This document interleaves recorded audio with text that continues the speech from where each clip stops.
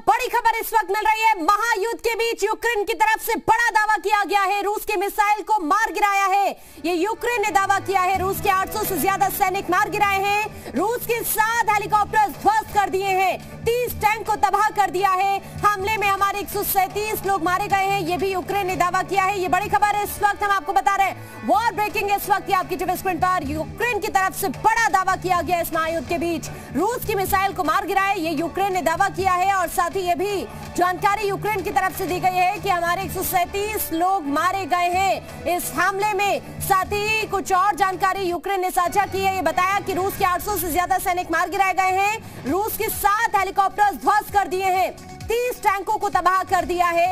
ये इस वक्त की बड़ी खबर। वॉर ब्रेकिंग इस वक्त हम आपको ये बता रहे हैं। यूक्रेन की तरफ़ से ये बड़ा दावा किया गया है। इस महायुद्ध के बीच रूस की मिसाइल को मार गिराया है यूक्रेन ने।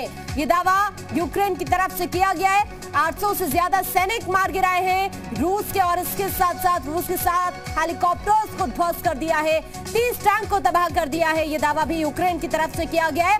और अभी तक अगर यूक्रेन को नुकसान की बात जो सामने आ रही है, जो दावा यूक्रेन खुद कर रहा है, वो ये है कि एक लोग अभी तक इस हमले में मारे गए हैं। ये दावा अभी यूक्रेन की तरफ़ से किया गया लेकिन अब आप आपको कुछ तस्वीरें दिखाने जा रहे हैं। यूक्रेन पर रूस के हमले के करीब 24 घंटे होने वाले हैं। इन 24 घंटों में यूरोप ही नहीं दुनिया का इतिहास बदल गया है, कूटनीति बदल गई है और इस बात की संभावना है कि आने वाले समय में यूरोप का भूगोल भी बदल सकता है।